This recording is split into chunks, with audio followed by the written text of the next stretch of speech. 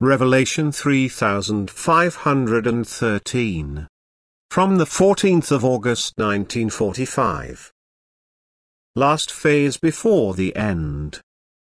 Mankind has now entered a phase of development that is extremely significant because it precedes the final end according to God's purpose from eternity. Complete spiritual blindness characterizes the last time before the end. People are completely unaware of their purpose of earthly life and their task. They have no spiritual connection whatsoever. They are distant from God due to their lack of love and their completely wrong thinking. Their concern is for the world, for the attainment of earthly goods, and spiritual life is completely disregarded. Hence, it is not a time of upward development but a standstill has occurred which turns into a regression of the spiritual substance, which is embodied as a human being on earth in this last time.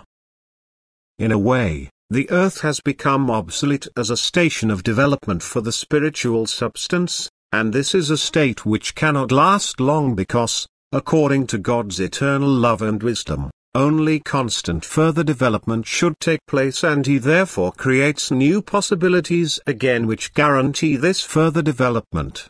It is a time of greatest spiritual blindness which can also hardly be remedied because the human beings will resist itself if light is brought to it.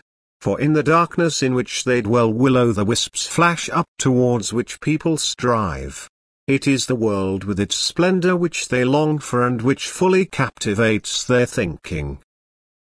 By the spiritual standstill, by the decline of all spiritual development, people will recognize how near the end is, provided they are connected to God and observe world events with a spiritual eye. They will know that the coming of the Lord is not far away. But they will have to endure a hard time of struggle beforehand, for it is necessary to achieve a separation of spirits. The wheat must be separated from the chaff, and those who have not yet completely made up their minds must realize where their will is heading.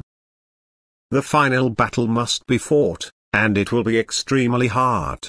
But those who carry God in their hearts will emerge victorious, for God is constantly close to them, He Himself guides them through this battle. There are only a few people but these stand in the light, they are knowledgeable and also draw the strength from the knowledge for final resistance against the enemy of their souls. And thus the light fights against the darkness.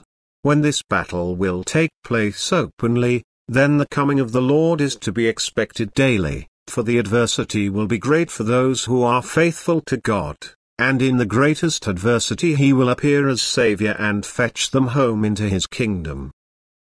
And the earth in its present form has fulfilled its destiny.